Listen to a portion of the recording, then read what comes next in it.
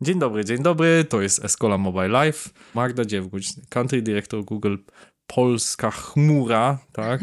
Nam e, osoba no, ikoniczna trochę w naszym środowisku ma dużo rzeczy ciekawych do powiedzenia. Cześć Magda. Cześć, dziękuję bardzo za zaproszenie, no i dziękuję też za ten wstęp, aż po prostu poczułam się y, zestresowana. Teraz to już tylko mogę was rozczarować. Nie, nie, nie. Myślę, że będzie, będzie bardzo dobrze. Więc od razu przejdźmy, przejdźmy e, dzisiaj piątek, dla tych, co nie jedzą mięsa, to przejdźmy od razu do tego, e, e, jak to powiedzieć, bardzo obfitego i treściwego, e, nie mogę powiedzieć mięsnego kawałka, czyli powiedz Magda, co ty właściwie w tym Google robisz i jak się zaczęła twoja przygoda w wielkich korporacjach? Chciałbym trochę o tobie posłuchać. Hmm, no, to wiesz, e, moja przygoda w wielkich korporacjach zaczęła się bardzo wiele lat temu. Byłam sobie młodą studentką e, prawa e, w Poznaniu zresztą i to były dzikie czasy, naprawdę początek lat. Nie, nie, nie mów nam o szczegółach imprez na studiach prawniczych w Poznaniu. Początek lat Każdy 90. z nas może sobie wyobrazić, jest piątek, wiem, że czekacie. Nie było was, nie było was na świecie, wręcz aż chce mi się powiedzieć. Natomiast e, wiecie, kiedyś było tak, że nikt nie wiedział, co to jest software. I tak się właśnie e, zdarzyło, że jedną właśnie z moich pierwszych biznesowych, zawodowych e, szans była praca w firmie, która robiła software. To były lata 90. I naprawdę no, nieznane to było mało powiedziane. No, naprawdę software był pojęciem abstrakcyjnym, nawet nie wiedzieliśmy do końca, jak tłumaczyć klientom, co to jest y, software. E, no i tak się zaczęła moja praca w korporacjach. E, poznałam świat nowych technologii, poznałam moc i wpływ technologii na zwiększanie produktywności, rentowności, usprawnianie transparentności w firmach. Weszłam do świata biznesu. No i e, tak minęło ponad 20 e, lat. Od e, dziewięciu pracuję w Google w Polsce, w Warszawie. No i tak naprawdę budujemy tutaj Warsaw Cloud City. Mhm. To jest ciekawe, co mówisz, bo jak przeszłaś od historii prawniczka, która poszła do technologii, to od razu zaczęłaś używać bardzo biznesowych stwierdzeń, tak? Rentowność, poprawianie procesu, zwiększanie, e, tak, produktywności, to są rzeczy, które właśnie bardzo interesują słuchaczy Escola Mobile, bo my rozmawiamy o technologii, jak one zmieniają faktycznie rzeczywistość. E, I, i, i powiedz, jak to się stało? Jeszcze chcę, muszę cię dopytać o ten fragment, że, że czujesz się osobą z technologii, czy ciągle czujesz się osobą, która związana jest e, z kwestiami prawa, wpływu prawa, prawa na, na gospodarkę, na technologię, czy czujesz się już w pełni osobą, która biznesowo zarządza w tej chwili Google w Polsce? E, wiesz, prawo to były dopiero moje pierwsze studia, potem jeszcze poszłam na kilka e, innych, więc e, na pewno nie czuję się prawniczką. Mm, czuję się osobą w biznesie, która ma jakąś świadomość prawa i chyba to będzie najlepsze określenie. Czuję się osobą z technologii absolutnie, a ten język, bo całe życie zawodowe właściwie pracuję w branży technologicznej, w firmach technologicznych Natomiast ten język biznesowy, który od razu się pojawił, pojawił się właśnie dlatego, że technologia to jest narzędzie. To jest narzędzie, a narzędzia się używa wtedy, kiedy ono jest przydatne, kiedy generuje wartość, kiedy ma jakiś po prostu sensowny wpływ na to, co robimy, bo jak nie generuje wartości, to pokrywa się kurzem, więc technologia musi być użyteczna i dlatego ten język. Aha, czyli technologia to jest młotek, to jest piła, e, to jest zaprawa murarska. Okay. To jest software, to jest algorytm, to jest aplikacja. Okej. Okay. E, Google Cloud w ciągu ostatnich pięciu lat właściwie podwoił swoje udziały w rynku. Znaczy w rosnącym rynku, to powiedzmy szczerze, jak bardzo chmura rośnie, myślę, że większość słuchaczy z Cola Mobile wie, Natomiast jakby w tym stale rosnącym rynku mamy kilku graczy, tak? Amazona, Microsoft, wielu innych, OVH. E, ale mamy też Google'a, który naprawdę zrobił chyba ponad więcej niż podwoił swoje udziały świato, na świecie. W Polsce bardzo chętnie posłucham, jak to idzie. Więc od razu przychodzi mi na myśl pytanie, jak to się stało? Jak to się stało, że tak dobrze się stało? To prawda, systematycznie rośniemy szybciej niż rynek i rośniemy szybciej niż e, nasi konkurenci. Mm, I myślę, że to właśnie wynika z tego, że no jakby firma od początku ma dokładnie taką kulturę, to jest kultura użytecznej technologii. E, I wszyscy, którzy pewnie nas słuchają, znają Google'a właśnie jako użyteczną technologię. Czy to jest Gmail, czy to jest YouTube, czy mapy, czy prawda, wyszukiwarka. Mm, no to używamy jej, to znaczy, że ona coś tam nam daje. Szybciej coś, prawda, wiemy, podejmujemy decyzje, wybieramy produkt, drogę, rozwiązanie. I teraz wszystko, co jest pod spodem, co sprawia, że te aplikacje działają i generują wartość, no to tak naprawdę jest ten silnik technologiczny, to jest ta platforma, którą w pewnym momencie zaczęliśmy nazywać Google Cloudem i zaczęliśmy ją oferować as a service innym firmom, więc myślę, że to, że rośniemy tak szybko wynika z tego, że tak naprawdę oferujemy rozwiązania sprawdzone na dużej skali. My mamy takie mm, określenie w Google dogfood. Dogfood oznacza, że najpierw sami coś używamy, czegoś używamy, czy testujemy, zanim e, damy to klientom. I trochę tak z tą chmurą. Napisaliśmy ją dla siebie, używaliśmy jej, sprawdziliśmy, co działa, co nie działa, a dopiero w drugim etapie zaoferowaliśmy ją do rynku jako odrębny produkt, odrębne rozwiązanie. No dlatego działa, jest efektywna, tańsza, bezpieczniejsza dlatego szybko rośniemy. Okej, okay, to, to pojawiało się to zdanie w paru startupach, które mieliśmy i tych dużych, których znamy historię że jak coś chcesz zrobić naprawdę fajnego, to, to zrób tak, żebyś sam, sama chciał z tego korzystać. I myślę, że to jest dobry kierunek, ale na pewno są jakieś określone wyróżniki e, i chciałbym, żebyś powiedziała jakby, bo jest jednak tu fizyczne biuro w Warszawie. Byłem, piękne w ogóle biuro. Wszystko tam jest naprawdę. Włącznie z mini salą do gry na instrumentach, jak ktoś lubi sobie w pracy pobrzdąkać. Jak to się nazywa, freestyle, czy jakiś tam po prostu się pobawić instrumentami. Tam jest wszystko, nie? Sorry Magda, że to ujawniłem, bo chyba tam nie można wchodzić nie pracownikom, więc sorry, to można, koledzy można. mi mówili. E, w każdym razie coś jednak e, robicie też ważnego, czyli współpracujecie z otoczeniem, tak? Oferujecie coś więcej, co sprawia, bo działacie głównie przez partnerów, tak? Więc powiedz, co dajecie fajniejszego, co teraz nasi słuchacze z Cola Mobile, które, którzy reprezentują startupy, mogą od was chcieć albo uzyskać. Wiesz, myślę, że to, co nas wyróżnia, to to, że jesteśmy transparentni, e, bardzo otwarcie i jasno mówimy, jak działa technologia, wywodzimy się z open source'u. To jest jak gdyby sposób, w jaki funkcjonujemy, czyli nie robimy jakiejś technologii po to, żeby ją tam komuś, prawda, sprzedać, a potem zarabiać na tym, że ktoś jej używa, tylko staramy się współtworzyć technologię z całym ekosystemem. I myślę, że jedna bardzo ważna rzecz, która też nas wyróżnia, jest taka, że mm, my nie chcemy jakby zarządzać całym łańcuchem wartości.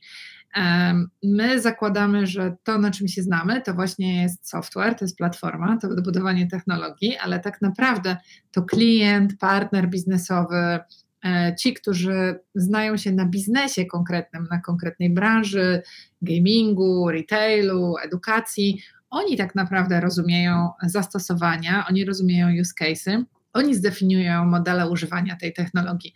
Więc od początku staramy się z nimi bardzo blisko współpracować i wychodzimy z założenia, że to jest ich przestrzeń i to oni będą oferować tą technologię do rynku w swoim modelu biznesowym. E, wielu naszych konkurentów tak nie robi, tak? I próbuje po prostu zarządzać całym łańcuchem od produkcji technologii do faktury końcowej no co eliminuje po prostu przestrzeń i szanse biznesowe dla mniejszych firm. Okej, okay, Magda, chciałbym, żebyś mi dała jakiś przykład. To znaczy, na pewno coś, co działa na wyobraźnię słuchaczy Scala Mobile i moją, to są case study, że okej, okay, jakiś startup, nie wiem, oferuje granie w chmurze. Był, było rozwiązanie Google'a, pamiętam, bardzo ważne dla mnie, dla gracza, bo ja mam Maca i większość gier nie działa, ale Google miał i nie wiem, czy nie zamknął zresztą tego projektu, że można jakby łączyć się z serwerem po chmurze i w ten sposób ja mam PC-ta, nie?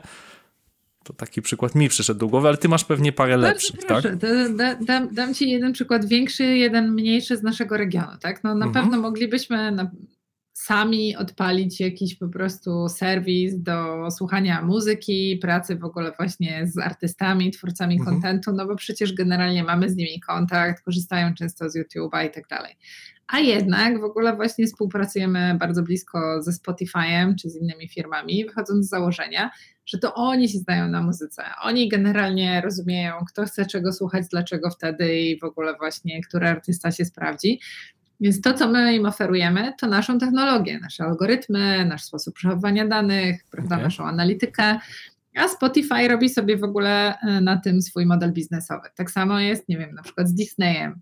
E, e, ale weźmy też taki po prostu przykład z rynku. Um, ja, ja, nie wiem, czy cię nie pytam za bardzo szczegółowo, czy to nie jest pod jakimś NDA-em, ale co, czy jak oglądam wczoraj z dziećmi na Disney Plusie, dawno temu w trawie, to jestem z chmurki Google'a, może nawet w Warszawie mi to się wyświetla. Wiesz, no nie, nie będę tutaj oczywiście opowiadać o tym, gdzie Disney używa czego, ale y, korzysta bardzo szeroko z rozwiązań chmurowych i koncentruje się właśnie na, twór, na tworzeniu kontentu, na robieniu y, wspaniałych y, filmów, czy animacji, czy produktów, natomiast nie zajmuje się budowaniem chmury czy platformy analitycznej, korzysta z gotowych rozwiązań. Innym, e, innym e, tematem jest na przykład windy.com. Wczoraj nawet byłam e, na koncercie, na którym zaczął padać deszcz i ktoś mi pokazuje, wiesz, jest taka świetna aplikacja windy.com i wiadomo było, że ten deszcz będzie padał. No, znam Windy właśnie od momentu, w którym ta koncepcja się w Czechach pojawiła i właśnie założyciel Windy, który ma obsesję na punkcie wiatru, jest żeglarzem, pilotem używa naprawdę chyba wiatru do wszystkich możliwych ekstremalnych sportów, szukał rozwiązania, jak możemy zebrać dane o pogodzie w świetnym interfejsie, w ogóle super aktualne i super dostępne. No czy Google mógłby sam zrobić super świetną apkę o pogodzie? Mógłby, prawda? Mamy jakieś różne rozwiązania pogodowe, ale dajemy całą naszą technologię komuś, kto jest prawdziwym pasjonatem wiatru, po to, żeby właśnie on, rozumiejąc jak użytkownicy chcą korzystać z wiatru, co jest dla nich istotne, co tam powinno e, się znajdować, zbudował dużo lepsze doświadczenie korzystania z apki pogodowej niż my moglibyśmy to zrobić. Także to, to są takie przykłady, które pokazują, jak pracujemy. Tak jak ciebie teraz słucham, to myślę, że to jest pewna lekcja, że to czasami nie chodzi o to, bo tak jak mówisz, Google może, to jest potężna korporacja, więc pieniądze się znajdą, dostęp do danych są, dostęp do użytkowników jest, ale czasem chodzi o ten aspekt człowieka, któremu naprawdę zależy, nawet w jakimś bardzo szczegółowym zastosowaniu, tak jak mówisz, kontrola wiatru, tak? E, znaczy kontrola wiatru, no, informacje na temat wiatru, tak? Informacje na temat, jak jakieś tematy gamingowe, że jest człowiek, któremu naprawdę zależy i który rozumie użytkownika i czasami jakiś drobny parametr właśnie związany z projektowaniem doświadczenia użytkownika decyduje o tym, że ludzie korzystają, nie wiem, właśnie ze strawy, a nie z czegoś innego. Ja tego nie rozumiem, bo narzędzi typu mierzenia jakichś tam, wiesz, tych kroków, czegoś tam jest milion, a akurat wszyscy korzystają ze strawy aktualnie. Może za 5 lat będą korzystali z innej. Jak to się dzieje, ja naprawdę nie wiem, ale to są te aspekty szczegółowe, e, interfejsowe, może jakieś właśnie dopasowanie się do potrzeb użytkownika, nie? Wiesz, to, to są, poruszyłeś dwie rzeczy tak naprawdę w tym, co mówisz. Z jednej strony to jest oczywiście człowiek i jakby nic nie zastąpi lidera chociażbyś sobie był w ogóle wielkim big techem i miał wszystkie technologie i pieniądze i kapitał, no to nadal te zasoby, te kropki ktoś musi połączyć. I no, od zawsze w naszej cywilizacji to jest ten lider, który ma właśnie pasję, wizję, wychodzi do przodu, potrafi pociągnąć innych, tego nie da się kupić. Albo to masz, albo po prostu czujesz, że tym właśnie chcesz się zajmować i, i tą pasją i energią zarządzasz innym, wtedy sprawy się dzieją albo nie masz i dużo takich przedsięwzięć było na świecie, tylko ktoś próbuje sobie poskładać zasoby i je kupić, no i wtedy najczęściej nie kończy się najlepiej. Ale ten graveyard, o którym mówisz, to jest też część kultury tej organizacji, ale mm, ja też mając już trochę doświadczenia biznesowego wierzę, że to jest coś, czego powinniśmy robić więcej. E, to jest tak, że mm, jakby przyznawanie się do tego, że zrobiliśmy jakiś projekt, który był niewypałem, nie jest jakby powodem do wstydu. To jest przestrzeń budowania doświadczenia. Nelson Mandela, uwielbiam ten cytat, powiedział właśnie: Nigdy nie przegrałem, albo wygrałem, albo e, się czegoś nauczyłem. I myślę, że w każdym z tych projektów, które Google zamknął, czegoś się nauczyliśmy, zdobyliśmy jakieś konkretne doświadczenia, które potem przenieśliśmy w inne obszary. I tutaj słuchające nas startupy, do tego zachęcam. Testujcie, eksperymentujcie, but fail fast. Fail fast, e, nie marnujcie e, zasobów, jeśli to nie idzie. I to jest też cenna rada e, co do tego, że bardzo często startupy budują jakieś złożone rozwiązania, natomiast dzisiaj piętrowe, wielopiętrowe rozwiązania informatyczne, tymczasem dzisiaj moim zdaniem programowanie bardzo się zmieniło. To znaczy ja biorę sobie jakieś tam API, podłączam się do czegoś, na tym buduję jakiś prosty interfejs, chmurkę sobie pożyczam od kogoś i ja jestem w stanie, teraz się mówi o tej kulturze weekendowych startupów, jestem w stanie bardzo szybko coś odpalić E, w Escoli ostatnio odpaliśmy taki tool, e, Kuba Król e, skonstruował sobie taki tool Auto Inviter, który ściąga dane z LinkedIna, profilu i ostatnich postów i zaprasza cię, o cześć Magda, widziałem, że ostatnio byłaś na tej, na tej konferencji, miałeś świetne wystąpienie na ten i na ten temat, a widzę, że tutaj zajmujesz się Google Cloud i te tematy cię interesują, więc fajnie jakbyśmy mogli więcej rozmawiać na ten temat na LinkedInie. I to po prostu jest super prosty tool jak już wiesz, że można go zrobić, tak? I, I powstał dosłownie w weekend, i moim zdaniem takich rzeczy będzie cała masa teraz i widać wysyp całą masę, bo nie musisz tego programować od zera. Nie? Możesz sobie wykorzystać gotowe rzeczy włącznie z przestrzenią serwerową i, i, i nie tylko przestrzenią, bo właśnie o to, to jest moje następne pytanie, że my mówimy chmura i większość osób ma takie wyobrażenie, ok, dobra, czyli zamiast tam OVH, no to się tam zapakuje, czy zamiast, e, tak jak my mamy nawet jako Escola parę swoich on-premise serwerów, zamiast sobie to konfigurować, ściągać sobie tego Linuxa, tam to Ubuntu i tam piętrową tą ten, to sobie biorę jakąś tam e, takiś klasterek mały i to jeszcze skalowalny od Google, ale na tym jest nabudowane bardzo dużo usług, widzę i to jest chyba ta przewaga, te usługi. Czy możesz więcej e, o tym powiedzieć naszym słuchaczom? Jakie to usługi są, jakiego typu albo przykłady dać? Wiesz, i to jest w ogóle też takie super e, w technologii, tak jak ja ją obserwuję na przestrzeni rozwoju mojego życia zawodowego, że jak byłam sobie właśnie tym młodym pracownikiem pierwszej e, korporacji, to technologia mm, zaawansowana, ten software wtedy magiczny, był tylko dla największych i najbogatszych firm naprawdę, żeby używać nowoczesnych technologii, to po prostu trzeba było mieć, wiesz, bardzo dużo budżetu, żeby postawić sobie właśnie swoje serwery, kupić sobie swoje licencje, swoje oprogramowanie, zatrudnić wybitnych ludzi, ale każdy miał taką po prostu własną wersję architektury, w którą musiał zainwestować, musiał to wybudować, musiał to utrzymywać. To było strasznie drogie.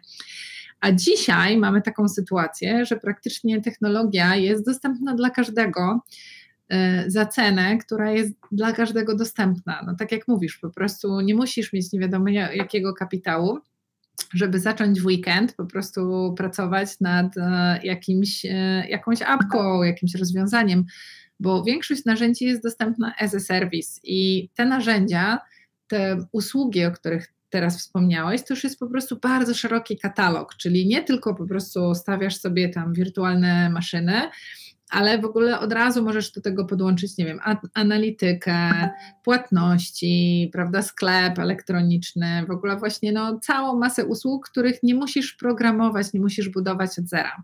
Chciałbym, żebyś powiedziała trochę o tym podłączaniu tych usług, bo to faktycznie jest ciekawe, że kiedyś faktycznie, o, trzeba było oprogramować płatności, tak? Dzisiaj sobie podłączam tego Stripe'a, czy Paypola, czy jakieś tam inne dosłownie na guzik. Jakbyś mogła powiedzieć jakby jak, to, jak to jest rozłożone, czyli co, jak się konfiguruje z tą chmurą i, i faktycznie sobie to włączam na guzik i jak trudne to jest, czy wy pomagacie w tym, bo to wiesz, jest sporo osób w tym Google, kto pomaga, czy wy pomagacie bezpośrednio, czy partner, żebym ja sobie te guziki odpowiednio powłączał. Wiesz co, myślę, że to jest tak, że to zależy, co robisz, tak? Właśnie jakieś bardzo proste rzeczy, no to e, ten wspomniany founder e, Windy to tak naprawdę na jakimś lunchu e, w Pradze, jak rozmawialiśmy o tym w ogóle właśnie, jakie on ma pomysły, mi pokazał, że odpalił sobie właśnie swoją konsolę na podstawie dwóch filmików na YouTubie, które obejrzał. I generalnie no, mm, człowiek, który ani nie był, nie wiem, mm, e, zawodowym, profesjonalnym programistą, ani właśnie twórcą aplikacji, ale mm, to było po prostu tak proste, prawda? Jakiś początek, odpalenie sobie konsoli, że mógł się tego nauczyć z filmików na YouTubie. No ale to są jakieś proste początki. Im bardziej chcesz robić rzeczy złożone, czyli już na przykład, nie wiem, migrować jakieś dane, integrować jakieś dane, mm, chcesz po prostu też e, dobrze ustawić e, zarządzanie tymi danymi, data governance, no to potrzebujesz już trochę więcej pomocy. I szczęśliwie e, wspomniałam wcześniej, że budujemy Warsaw Cloud City. Mm, robimy to już od kilku e, lat i to, co udało nam się zrobić, to naprawdę wybudować w Polsce e, wyjątkowy ekosystem partnerów, bo to już jest naprawdę dzisiaj kilkaset firm, małych, dużych, e, ogromnych, międzynarodowych, które budują swoje centra kompetencji w Polsce, bo już nie tylko w Warszawie, ale w Polsce. I to, co dzieje się w chmurze, w związku z tym, że ona się tak dynamicznie rozwija, rozwija wspomniałeś o tym wcześniej, to też rośnie complexity. A jak rośnie complexity, to e, partnerzy muszą iść w kierunku niż. Nie możesz się specjalizować we wszystkim. Nie możesz być bardzo dobry w ogóle i w infrastrukturze, i w security, i prawda, e, mm, w bazach danych, i w, i w modernizacji aplikacji, i w tworzeniu aplikacji. E, I widzę, że partnerzy powoli właśnie zaczynają się specjalizować. I teraz w zależności od tego, jak złożone rzeczy robią klienci, oni też już sięgają po partnerów e, ze specjalizacją do tych trudnych rzeczy, bo do tych prostych rzeczy to naprawdę można sobie zrobić tam pierwszy certyfikat i próbować mm. samemu. To prawda, zgadzam się z Tobą, że complexity, złożoność e, znacznie wzrosła. E, naszym dostawcą usług chmury Google'a, konkretnie w obszarze rozwiązań maili, dysków współdzielonych jest Fly on the Cloud dzisiaj Fotcy, Fot, nie, strasznie mi się źle wymawia to. Ich wzrost też jest fenomenalny, w sensie 5 lat temu ta firma miała, nie wiem, może 10 milionów przychodu, teraz ma przeszło 100 e, chyba, więc widać rozrośli się na pół Europy, tak? I tak jak 5 lat temu wyglądała otoczenie administracji nawet prostego dysku współdzielnego, teraz są poziome, dwuetapowe weryfikacje są właściwie obowiązkowe, więc security znacznie wzrosło. Są możliwe różne sortowania poziomów dostępów. Praktycznie no, Widzę, że Google trochę podpatruje i słusznie to, co Microsoft ma w swoich rozwiązaniach typu Active Directory, zarządzanie użytkownikami. Za chwilę pewnie będą jakieś automatyczne stopki e, zaciągające się z jakiejś bazy, albo już są, tylko ja o tym nie wiem, więc faktycznie najprostsza rzecz, e, która rośnie wraz ze skalą organizacji, tak? bo Escola też 5 lat temu miała, nie wiem, 5 osób, teraz ma 100 i zarządzanie użytkownikami jest zupełnie inne e, i narzędzie w tym bardzo pomaga. To prawda. Fajnie, że mówisz właśnie o tej części Google Clouda, bo ja cały czas mam takie poczucie, że ten produkt jest niedoceniany. E, ja przed Googlem pracowałam no, kilkanaście lat na, na pakiecie właśnie takim tradycyjnym, um, office'owym i nawet jak przyszłam w ogóle tutaj do pracy, to byłam taka, o Boże, co ja teraz zrobię, nie mam swoich slajdów w PowerPoincie, w ogóle jak żyć bez Excela. I yy, no, wydawało mi się, że to już jest po prostu koniec świata, że ja teraz, moja produktywność spadnie dramatycznie. E, no ale tak naprawdę po pół roku dostałam taką notyfikację, że właśnie odinstalowało mi właśnie Office'a, bo go nie otworzyłam od tam, nie wiem, 90 dni czy coś w tym stylu. I jak popatrzysz teraz na sytuację, że tak naprawdę Gmail no, jest globalnym standardem, Mamy, prawda, x miliardów użytkowników na świecie. No, no, no, ja bym e, przerwał ja bym powiedział, że Google sobie wychował tych użytkowników, bo przez to, że Gmail był za darmo, bo już teraz nie jest i to też jest akurat dla mnie smutne, bo on niby jest, ale ostatnio mi karta wygasła i mi nie pozwala już korzystać z maila, bo mam za dużo tych maili przez lata nagromadzonych, więc mnie odłączył, musiałem podejść. No ale dobra, wychowaliście sobie tych użytkowników i, i i, i mo, w moim przekonaniu, tutaj nie słodzę, nie ma niczego porównywalnego, jeżeli chodzi o collaboration. Możemy dyskutować co do tego, czy możesz zrobić tak złożone rzeczy w Sheetsach, co w Excelu. No nie, ale jeżeli chcesz napisać wspólnie książkę, dzi dzisiaj miałem kick-off projektu, gdzie będziemy pisać książkę w sześciu autorów, to napisanie tego jest, Google jest po prostu dla wszystkich tym pierwszym, pierwszą myślą. Tak. No wiadomo, że to tak. napiszemy na tak. Google, nie? Tak, tak. No doksy to jest po prostu nieustający zachwyt i magic. E, bo po prostu nie da się, mm, no czasem mi ktoś podsyła, prawda, jakiś załącznik w innej technologii, gdzie po prostu właśnie, żeby zrobić zmiany i zapisać wersja 1, 5, w ogóle nikt nie wie po prostu o co chodzi, e, to naprawdę jest ciężko, ale wiesz, tak trochę broniąc też tego, czy jest za darmo, czy nie jest za darmo, no ten produkt też przecież kosmicznie się zmienił. Wiesz, jak pewnie miałeś ten swój pierwszy Gmail, to wysyłałeś maile i jakby maile z 5 lat ważyły tam, prawda, nie wiem, x mega, nie? A teraz w ogóle właśnie masz Drive'a, na którym trzymasz, nie wiem, filmy, masz e, pewnie Google Photos, które tam zaciąga e, ogromne ilości high resolution e, zdjęć. Plus dochodzą po prostu różne aplikacje, które sobie tam trzymamy, więc trudno byłoby tak, wiesz, nieustająco dawać ci nieograniczoną przestrzeń i jeszcze sprawiać, żeby tam było najbardziej zaawansowane security, dwuetapowa weryfikacja, alerty, w ogóle właśnie, czy ktoś ma dostęp do Twoich danych. Więc w którymś etapie musi się pojawić w ogóle właśnie taka segmentacja na bardziej świadomych użytkowników, którzy chcą mieć swoje takie prywatne repozytorium danych i chcą po prostu też jakości, a jak chcą jakości, no to my musimy wziąć na siebie odpowiedzialność. Jak musimy wziąć na siebie odpowiedzialność, no to musimy się dogadać w ogóle właśnie, co z, tego będziemy mieli. Mm, no i to idzie już wtedy w kierunku no, komercjalizacji. Tu, tu dotknęłaś poważnego problemu, uważam, który mnie osobiście przeraża, tym bardziej jako osobę, która no, zawodowo zajmuje się w dużej mierze też y, y, sztuczną inteligencją, w sensie jako, głównie jako naukowiec. E, ilość danych, jakie produkujemy, jest astronomiczna i co roku jest większa, i te dane nam się wydaje, że one gdzieś tam znikają, a one nie znikają, one są ciągle trzymane na serwerach. Oczywiście trochę inaczej, jeżeli ich nie używamy, jeżeli ich używamy, ale widać, tak jak mówisz no, o Google Photos, no zrobiliśmy przez 10 lat telefonem terabajty zdjęć, i one gdzieś e, w większości siedzą. Ja nie wiem, czy nie wytwarzamy też przy okazji jakiegoś śmietnika, no ale z drugiej strony 10 lat temu, o nie wiem, miałem swoją tam jakąś graduation party albo nie wiem, swoją 30 urodzinę i ja chcę do tego wrócić i to co więcej wstecznie indeksuję. Dobra, nie chcę się tutaj rozpędzić ze swoją, e, e, ze swoim gadaniem, chcę ciebie podpytać mm, właśnie w jaki sposób e, to tak naprawdę jest przechowywane, bo coraz więcej powstaje tych data center.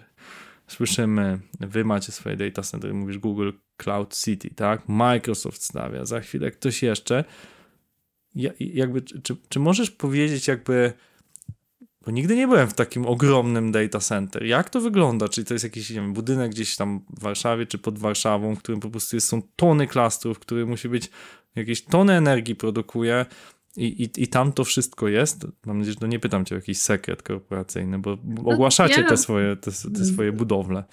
Ja zapraszam wszystkich y, do tego, żeby właśnie sobie wygooglować, jak działają właśnie data center Google'a, bo są właśnie i jakby dedykowane strony, które to opisują i są też właśnie filmiki, które pokazują, jak to jest tam w środku. Myślę, że mm, to, co jest najważniejsze dla tych, którzy nas e, oglądają, to to, że jakby to jest od początku ogromna skala, ale wszystko jest projektowane w tej ogromnej skali. Czy to właśnie bezpieczeństwo, czy to po prostu zarządzanie, czy efektywność. I um, Google tym się różni od wielu innych firm informatycznych, że jakby od początku buduje ten e, ekosystem całościowo, kompleksowo, czy projektujemy własne urządzenia, własne rozwiązania sieciowe, własne rozwiązania bezpieczeństwa, bo wiemy, że jakby każde łańcucho, każde ogniwo łańcucha to jest ryzyko dla e, bezpieczeństwa, spójności, e, prywatności tych danych, więc no, nie od dzisiaj wielu tak zwanych bad actors bardzo chciałoby, prawda, schakować Google'a i dojść do sytuacji, w której, prawda, zamiast okienka wyszukiwarki, nie wiem, pojawia się coś innego. Więc dla nas to jest trochę tak, jak wiesz, wcześniej mówiliśmy o tym graveyardzie. To jest nieustające miejsce trenowania, tak? Po prostu jesteś tak dobry jak twój ostatni trening i ponieważ generalnie cały czas jesteśmy trenowani przez różnych zawodników z całego świata, no to ta efekt końcowy w postaci naszego data center to jest tylko element wielkiego ekosystemu, na który składa się infrastruktura, sieć, oprogramowanie e, i cała masa jeszcze dodatkowych e, zabezpieczeń, które chronią to, co w tym data center jest. Hmm. Ja pamiętam jako anegdotę powiem, że jak koledzy kiedyś założyli giełdę y, kryptowalut, to właśnie zapytałem, co jest największym problemem, to on powiedział, że właśnie fizyczny serwer, gdzie ktoś musi tam stać, i dosłownie stać pięciu ochroniarzy, żeby nikt fizycznie nie wykradł tych, e, tych dysków, bo tam jest kupa forsy, tak? I, i, I to on twierdził, że jest największy problem. Tam zaprogramowanie tej giełdy to pryszcz. Najtrudniejsze jest to, że my sobie często zapominamy, bo mówimy chmura i większość osób, które nie zajmują się technologią, nie było w takim data center dużym, to wyobraź sobie, że to gdzieś faktycznie sobie lata w powietrzu, a te dane są fizycznie na jakimś serwerze, co więcej na jednym i gdzieś skopiowane jeszcze na drugim, a czasem i na trzecim, żeby w razie gdyby to wszystko spłonęło, to żeby to się szybko cofnęło. A nawet, a mhm. nawet nie tak, wiesz, to też mhm. jest dla tych, których to mhm. interesuje, to też polecam, żeby sobie tam wpisali w wyszukiwarkę właśnie w jaki sposób przechowywane są dane w ogóle w infrastrukturze Google'a bo tu jest też rewolucja w stosunku do tego, jak tradycyjnie przechowujemy dane, bo nie przechowujemy konkretnego pliku w konkretnym miejscu i jest prawda, jakiś katalog albo biblioteka, która mówi, gdzie jest ten plik. Google wszystkie dane jakby mm, poddaje fragmentaryzacji, takiej olbrzymiej fragmentaryzacji i te dane w ogóle właśnie następnie są jakby rozpraszane po wielu różnych data center e, i wielokrotnie to rozpraszanie jest kopiowane. Ja oczywiście to mówię takim bardzo uproszczonym językiem, ale to ty jako użytkownik, jako jedyny masz ten klucz, tą taką jakby magiczną pałeczkę, która powoduje, że ten pył się z powrotem robi twoim plikiem. I to jest dość unikalne. Nie wiemy o tym, żeby jakikolwiek z naszych konkurentów podobnie e, przechowywał i chronił dane, a to jest nasza e, ogromna przewaga. Brzmi niesamowicie jak droga mleczna, która składa się z miliona gwiazd, ale formuje się jednak w coś, co widzimy i mnie to zastanawia, bo jednak fizycznie ten impuls, ja tak myślę trochę technicznie, może za bardzo, to musi przejść impuls i złożyć, czyli mamy jakiś tam ping, który po tych tak. światłowodach musi przejść, żebym ja teraz tak. choćby z tobą rozmawiał, tak. to jest Dokładnie ten oczywiście tak. mini, mini lag, który sprawia, że te dane są wymieniane, ale to może na inną rozmowę, bo chyba... Wiesz, ja to nazywam, mhm. ja to nazywam w rozmowach z klientami automagic, tak, że to jest tak, że generalnie właśnie, y, wiesz, to jest twój interfejs i teraz nieważne, czy przełączasz się z telefonu na Androidzie, prawda, na swojego Maca, czy na swój androidowy telewizor, czy cokolwiek to jest. I jakby ten Automagic powoduje, że tam skończyłeś oglądać właśnie ten, nie wiem, podcast, a tutaj masz po prostu na tym drugim urządzeniu chwilę później kolejną sekundę.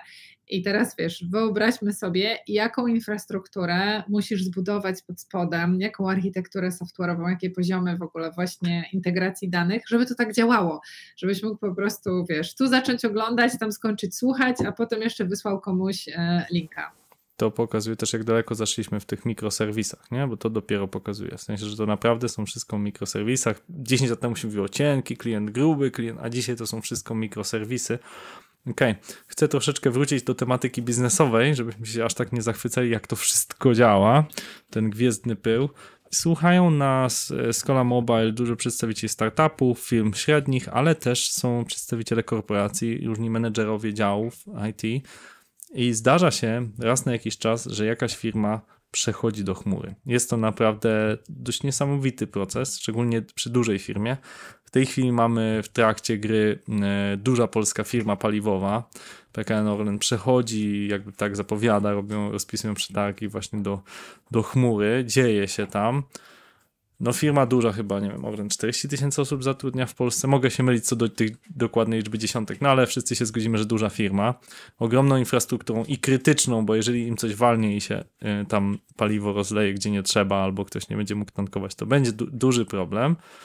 E no właśnie, pewnie miałaś do czynienia parę razy z dużym korporacyjnym przejściem z tego tak zwanego on-premise do chmury albo częściowo, tak? Część sobie zostawiają jakichś projektów, bardzo często w bankach chcą mieć u siebie, chociaż i to się nawet zmienia, że i banki przechodzą do chmury. Jak wygląda taki proces, jakbyś go mogła w kilku krokach powiedzieć, co się dzieje, żeby firma wielkości takiego Orlenu czy korporacja mogła przejść do chmury Google? Wiesz, to generalnie w tym momencie ta rozmowa może się potoczyć albo w kierunku właśnie dramatu, albo w kierunku brazylijskiego serialu, albo e, w kierunku naprawdę e, dobrej, e, wciągającej historii, więc ja wybiorę ten trzeci wariant. Mm, I sięgnę pamięcią do tych, do tych migracji, które właśnie były dobrym, dobrym doświadczeniem, dobrym projektem, bo prawda jest taka, że to nie jest tak, że od czasu do czasu ktoś przechodzi do chmury. W tej chwili to już no, prawie wszyscy przechodzą do chmury, to już raczej są wyjątki firm, które nie przechodzą do chmury, głównie dlatego, że po prostu aplikacje, ich nowe wersje są dostępne tylko w chmurze. E, I krytyczne aplikacje, na których e, pracują duże korporacje, po prostu komunikują swoim korporacyjnym klientem. Od tej następnej wersji będziemy to oferować już tylko z chmury i w ogóle musicie po prostu się do tego przygotować, macie tyle i tyle czasu. Więc e, to jest takie odgórne ciśnienie, które no, powoduje, że każdy te kompetencje chmurowe musi wybudować. I wtedy, kiedy chcemy, żeby to było fajne, konstruktywne, dobre doświadczenie, to zaczyna się jednak od świadomości i od edukacji. Bo mm, początkowo, jak przychodzi prawda, zmiana, jakakolwiek ona by nie była, to w każdym miejscu w życiu jesteśmy raczej oporni, bo zmiana oznacza wysiłek, oznacza pożegnanie się z czymś, co nam działa, co funkcjonuje, do czego jesteśmy przyzwyczajeni. Więc trzeba zacząć od edukacji, od budowania świadomości i od tego, żeby ci, którzy mają używać tego narzędzia, po prostu czuli się z tym komfortowo. I wrócę do tego, od czego zaczęliśmy. Gdybym ci dała właśnie jakiś po prostu super zaawansowany, nie wiem, śrubokręt z jakimiś tam, nie wiem, diamentowymi końcówkami, coś tam, coś tam i powiedziała po prostu weź i zrób coś z tym śrubokrętem, no to twoje pierwsze doświadczenie byłoby ok, ale nie wiem do czego tego używać, co mam zrobić i tak dalej, tak? Ale jakbyś najpierw miał fajne szkolenie, pokazano by ci kilka zastosowań, no to czułbyś się o wiele bardziej komfortowo, żeby spróbować. I to jest ten drugi element, który musimy wywołać, czyli ta pewność siebie z narzędziem, ta taka właśnie taki komfort używania powoduje, że zaczynasz próbować. A no to może tą śrubkę, a może tą śrubkę, a może coś tam razem skręcimy. I wtedy użytkownicy zaczynają to narzędzie stosować do jakichś eksperymentów wewnętrznych. A to może tą następną aplikację postawimy tu, a może przeniesiemy jakiś nieistotny serwis, a może jakąś zapasową stronę, która jest mało używana. Robią to i nagle pojawia się ten efekt, o, czyli to działa. Nie dość, że działa, to się mniej jakby psuje, nie chcę powiedzieć wcale, ale dużo mniej. I jakby mamy większy komfort, bo mamy większą przewidywalność tej technologii, mamy mniej incydentów. O, nagle się okazuje, że też to mniej kosztuje, mamy więcej danych w czasie rzeczywistym. O, możemy po prostu podłączyć kolejne serwisy, bo się łatwiej integruje. I wtedy zaczyna się ta prawdziwa migracja, bo jak użytkownicy już wiesz, poczują się komfortowo, pobawią się w tej pierwszej piaskownicy, przetestują, nabiorą w ogóle jakiegoś poczucia, do czego może im się to przydać, to biorą się za te poważniejsze aplikacje, które wymagają nie po prostu lift and shift, ale właśnie jakiejś modernizacji, jakiegoś e, e, przedefiniowania.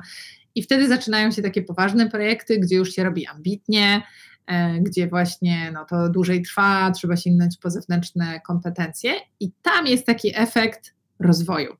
Często ludzie, którzy wiesz, długo pracowali, nie wiem, na jakimś Oraklu, na jakimś SASie, właśnie na Teradacie, na rozwiązaniach po prostu Hadoopie mm, i tkwili w tym przez wiele lat mniej więcej w podobnym modelu, nagle robią, nie wiem, migrację do BigQuery albo właśnie do jakichś e, innych rozwiązań i czują, że uczą się czegoś nowego, że to nowe stwarza, wiesz, jakieś fajne możliwości sięgania po rzeczy, których nie robili do tej pory. Zaczynają chodzić do biznesu i mówić, o, zobaczcie, bo jeszcze coś takiego możemy zrobić. Może, więc wiesz, to jest taka pozytywna ekscytacja, taka eksploracja, takie w ogóle odkrywanie nowych przestrzeni.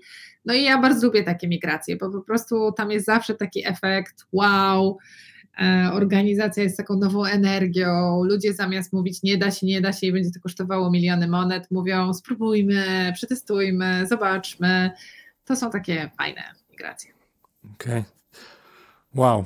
E, do tematu tego, jak zostać, jak wziąć udział w tym, jak zostać waszym partnerem, jak z tego skorzystać, jeszcze wrócę na koniec rozmowy, ale jest jeszcze jeden temat, y, który koniecznie muszę poruszyć, czyli właśnie y, temat sztucznej inteligencji, Barda, tego co pokazaliście i tego co w dużej mierze też y, jest no, flagowym produktem Google'a, czyli wyszukiwanie. Chciałem Cię zapytać właśnie, jak, jakbyś mogła powiedzieć, pewnie masz dostęp do jakichś danych, które, których jeszcze my nie mamy, widzisz, co planuje Google w kwestii właśnie przyszłości wyszukiwania, jak to Twoim zdaniem może wyglądać wizyjnie, e, jak to będzie się zmieniać, jak to będzie ewoluować, bo na pewno to będzie w dużej mierze oparte właśnie o tony danych, jakie zbieramy właśnie w Twojej chmurze. Wiesz, myślę, że jest duża różnica tutaj między tak zwanym użytkownikiem indywidualnym użytkownikiem biznesowym. Bo no, dla Google'a y, AI, sztuczna inteligencja, nie wiem, zaawansowany y, machine learning, Gen AI, idący jakby w stronę korzystania z większych zbiorów danych, szukania bardziej prawdopodobnych rozwiązań, nie jest y, czymś nowym. My używamy tych rozwiązań, czy budujemy te rozwiązania, może tak należałoby powiedzieć, od wielu, wielu lat, bo po prostu widzimy, że w naszych aplikacjach mamy taką potrzebę, żeby dalej zwiększać efektywność, żeby dalej zwiększać takie accuracy, tego, co ci się wyświetla w wyszukiwarce, co generalnie widzisz jako po prostu zestaw um, wyszukiwarce YouTube'a, która jest przecież już e, też ogromną wyszukiwarką, e, czy właśnie e, Playa, czy w mapach. No to my te technologie już budujemy od bardzo dawna, ale ponieważ budujemy je od dawna, to też rozumiemy, że one muszą być bardzo zaawansowane w momencie, w którym oferujemy je użytkownikowi. Bo jeśli ty na przykład, nie wiem, spieszysz się, prawda, y, na urodziny mamy i wpiszesz w mapy, nie wiem, czy wyszukiwarkę kwiaciarnia po drodze, tak, na twojej trasie, to nie chcę, żebyśmy ci podali w miarę prawdopodobną y, odpowiedź, tylko chcesz, żeby po prostu właśnie ci dokładnie powiedziało 10 minut do kwiaciarni, a potem z kwiaciarni masz po prostu 5 minut dalej, albo nie wiem, pojedź takim autobusem, można tam zapłacić kartą, nie można tam zapłacić kartą. Więc e, to jest tak, że użytkownicy indywidualni od dawna korzystają z tych technologii i wiedzą, że to im daje korzyść. Natomiast użytkownicy biznesowi nie, bo generalnie właśnie, żeby korzystać na szeroką skalę z tych technologii, no to najpierw musisz zbudować jakby swoją przestrzeń danych. No to te dane muszą być gotowe do tego, żeby na nich potencjalnie właśnie testować jakieś modele. No to musisz zbudować kompetencje, kto te modele będzie budował, kto je będzie testował, kto je będzie trenował, mm, kto będzie decydował o tym, w jaki sposób te modele będą e, wykorzystywane. Więc wydaje mi się, że jesteśmy w takim dość ciekawym momencie, kiedy użytkownicy ci indywidualni wyprzedzili trochę korporacje, duże firmy i już wiedzą, że ta technologia jest im potrzebna i po prostu używają, nie zastanawiając się, co to jest za technologia pod spodem.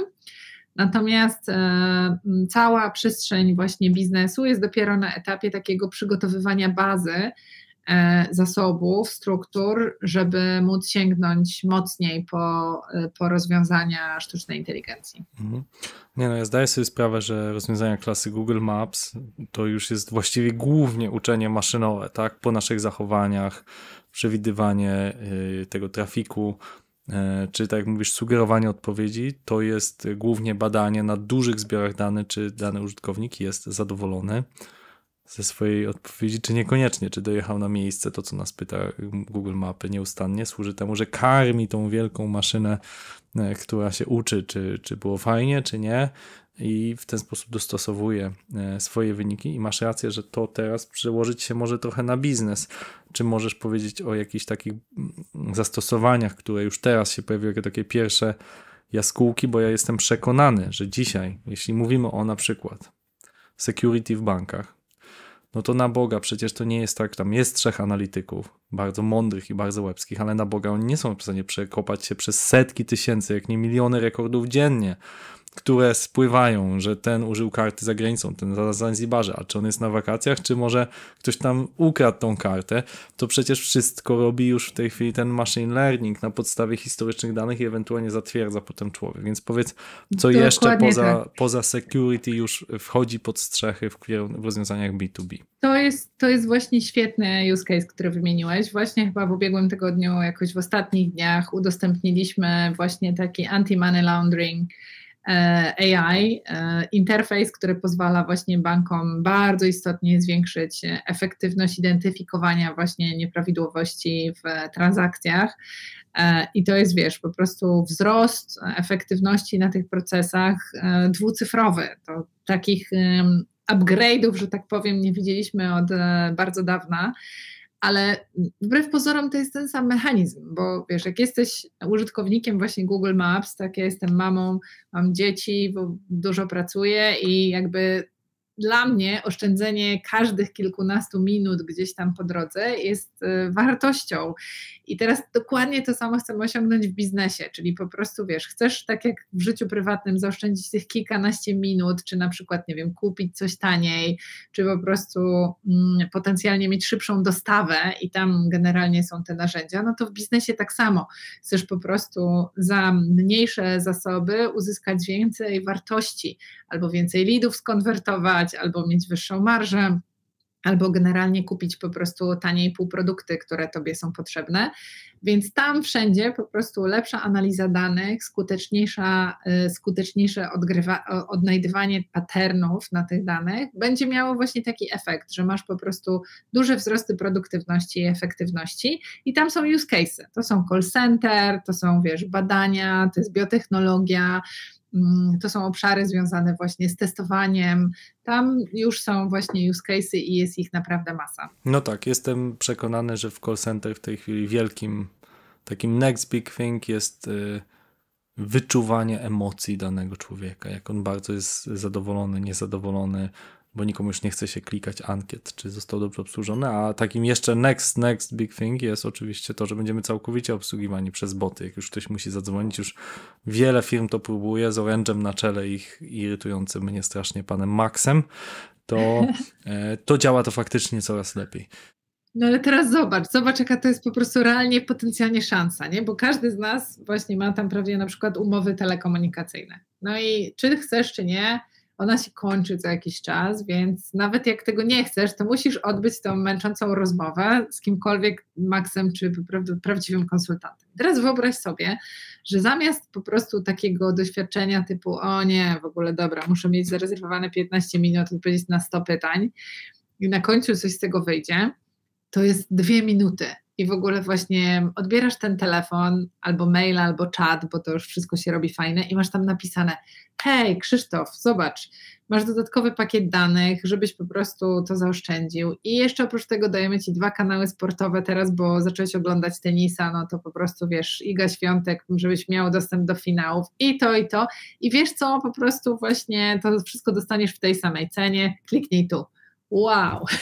Tak, tak, Magda, ja się zgadzam, ale uważam, że bardzo często firmy to robią źle. Może ktoś nas słucha i skorzysta, że y, próbują robić interfejsy ludzkie przez maszyny, a jeszcze technologia nie jest do tego dojrzała i może na szczęście, bo dużo lepszym rozwiązaniem dla takiego oręża i oni doszli do tego w końcu, jest zrobienie bardzo dobrej aplikacji, która nie muszę do nikogo, właśnie nie muszę do nikogo dzwonić. W sensie, wyobraź sobie, że zamiast rewolucji Ubera mielibyśmy rewolucję zamawiania taksówek przez telefon z automatami.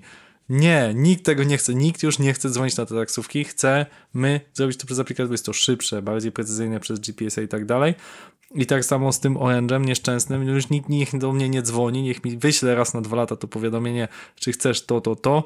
Klikam, klikam, do widzenia, tak? Robię to sobie w czasie, wiesz, siedzenia na tronie. E, dobra, e, dalej. Chcę wiedzieć od Ciebie, co Ty osobiście śledzisz e, w, tej, w tym rynku technologicznym, w kwestii tej rewolucji, co Ciebie osobiście fascynuje, co jak już zrobisz te swoje wystąpienia, masz pewnie milion zadań w Google, co Ciebie naprawdę tak uwodzi i, i chętnie śledzisz, chętnie obserwujesz?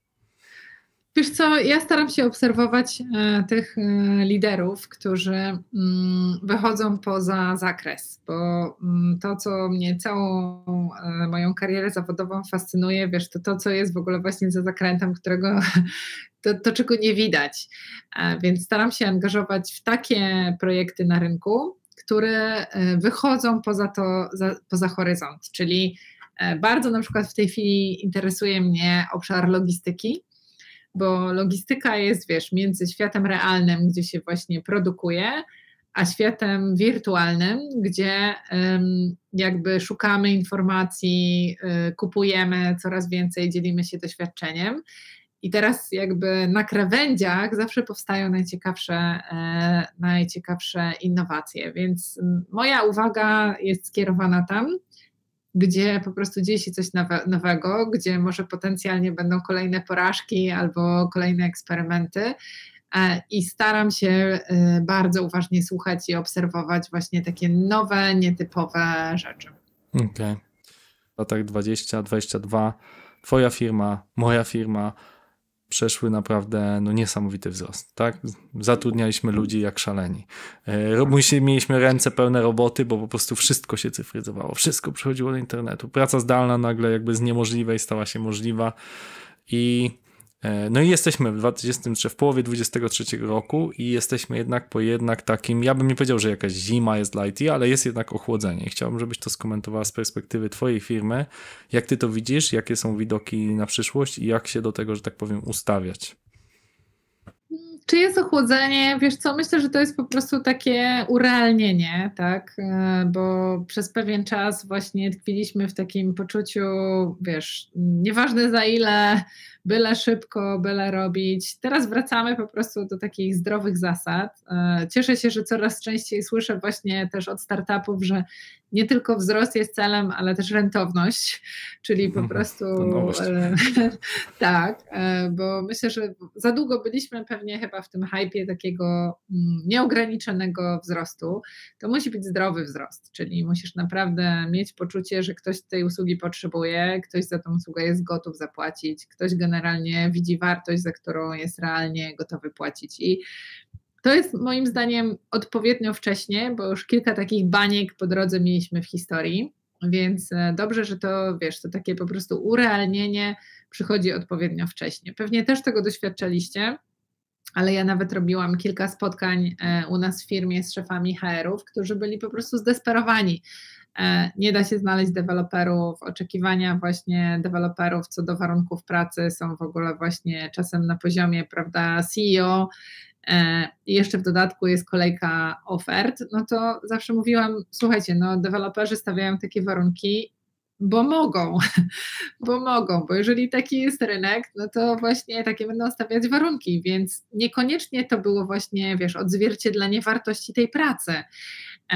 I myślę, że takie po prostu urealnienie, uzdrowienie, e, racjonalizacja w obszarze tego, ok, ile tak naprawdę jest warta ta praca i jaką ona robi różnicę w stosunku do całości, e, którą, efektu, który chcemy uzyskać, no to naprawdę dobrze, że się dzieje. I um, myślę, że jak się przeorganizujemy, jak przejdziemy właśnie może przez ten, um, przez taki moment um, ochłodzenia, jak powiedziałeś, czy policzenia się po prostu i sprawdzenia, mhm. co tak naprawdę ma sens, a co nie, to znowu będzie lepiej, bo będzie pewnie potrzeba mniej ludzi, ale do robienia rzeczy trudniejszych, do robienia rzeczy, które są bardziej potrzebne, i wtedy też urealnione będą po prostu koszty, koszty tej pracy. Mhm. Magda, jak Ciebie słucham i jak rozmawiałem z kilkoma pracownikami z Twojego działu, to mam wrażenie, że mm, kultura pracy osławiona w Google to nie jest tylko mit. To znaczy, że tam naprawdę jest bardzo trudno się dostać, jest wieloetapowa rekrutacja. Jak ktoś się dostanie, to czuje się tym Googlersem. Jest ta silna tożsamość taka organizacyjna. Znam też wiele rozczarowań, że ktoś właśnie siedem etapów przeszedł i na ósmym niestety odpadł, co jakby pokazuje, że te etapy nie są sztuką dla sztuki. Mm, słucha też naszej audycji dużo osób, które odpowiadają za kulturę organizacyjną, HR menedżerów czy, czy founderów. Jakbyś mogła powiedzieć, jak się buduje nawet wewnątrz korporacji, tak? Nawet wewnątrz ogromnej globalnej korporacji, taką fajną, zgraną drużynę. Wiesz co, myślę, że to mm, z całym szacunkiem właśnie dla Google'a jednak zależy od ludzi, bo na pewno to, co Google robi dobrze, to ma e, wyjątkową procedurę rekrutacyjną, ale myślę, że to, co robi jeszcze lepiej, to pilnuje jakości tej rekrutacji.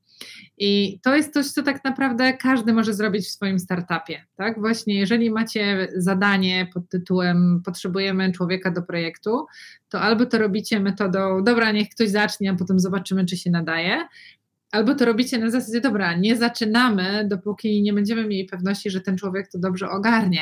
I pewnie każdy, kto nas dzisiaj słucha, zapłacił nieraz wysoką cenę za błędne rekrutacje, bo jeśli po prostu zatrudnisz kogoś, kto nie pasuje do Twojej drużyny, kto generalnie, nie wiem, ma po prostu właśnie jakiś toksyczny wpływ, kto po prostu, nie wiem, komplikuje zamiast upraszczać, no to taka osoba potrafi rozwalić pracę całej firmy albo, nie wiem, swojego działu i jeszcze po prostu narobić kłopotów z klientem. Pomyłki rekrutacyjne kosztują e, najwięcej, więc jakby zachęcam do tego, żeby nie myśleć, że to jest jakaś magia w Google, tylko po prostu budować wokół siebie taką kulturę współodpowiedzialności. Wszyscy odpowiadamy za to, żeby w naszej organizacji, w naszym startupie, w naszym teamie byli ludzie, którzy chcą tutaj być, którym na tym zależy, którzy dają z siebie w ogóle właśnie ile mogą, a nie właśnie, prawda, jacyś e, podróżujący przechodnie, ktoś, kto w ogóle na chwilę się zaczepił, ale nie wiadomo po co. No bo wtedy wszyscy, wszyscy na tym w długiej perspektywie tracimy. Mhm. Magda, chciałem Cię jeszcze poprosić na koniec. Jest dużo osób, które nas słuchają i, i pewnie myślą, o, w sumie ja bym też chciał zostać partnerem Google'a, nie wiem, skorzystać z chmury, albo właśnie zacząć dystrybuować pewne rozwiązania, które mam w ramach tych marketplace'ów, albo myśli o karierze, mam na myśli inżynierów. Jaki sposób można się z Tobą skontaktować? Bardzo gorąco zachęcam, żeby to robić, jeżeli macie taki pomysł, bo to jest dobry pomysł, bo tak naprawdę razem z AI-em e, tak naprawdę otwieramy nową kategorię projektów e, teleinformatycznych. Chmura powoli staje się tylko bazą, Natomiast to, co się robi w chmurze, zmierza w kierunku AI i tutaj po prostu trzeba wybudować znowu cały ekosystem firm specjalizujących się już nie w samej technologii, ale w zastosowaniu tej technologii, w zastosowaniu tych narzędzi. Także zapraszam, żeby się zgłaszać. Wystarczy wpisać w wyszukiwarkę, jak zostać partnerem Google Cloud. Pewnie pojawią się tam formularze, które trzeba wypełnić. Zapraszamy do kontaktu. To będzie rosnący rynek, zapotrzebowanie na e, partnerów wdrażających usługi w chmurze, w AI będzie rosło wykładniczo w następnych latach.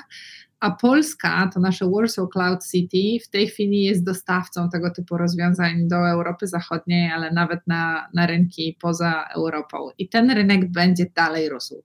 Także jeśli macie taki pomysł, to jest dobry pomysł, budujcie kompetencje, certyfikujcie się. E, klienci sami się zgłoszą. Bardzo Ci dziękuję, Magda, za super w ogóle. Nie spodziewałem się, że hmm, tak fajnie i po ludzku umiesz opowiadać o tak złożonych sprawach jak chmura, jak AI, jak kultura organizacyjna. Bardzo Ci dziękuję za tą rozmowę. Świetnie e, mi się z Tobą rozmawiało. To są tylko narzędzia. Jakby jeszcze raz zachęcam e, do tego, żeby myśleć o nich w ten sposób. Jeśli będziesz na nie patrzył z odległości, to generalnie będą obce i e, będziesz się ich bał. Jak zaczniesz ich dotykać, zaczniesz się uczyć, do czego ich zastosować, po prostu sprawią, że będziesz produktywniejszy i efektywniejszy i do tego zachęcam. Super, dzięki wielkie.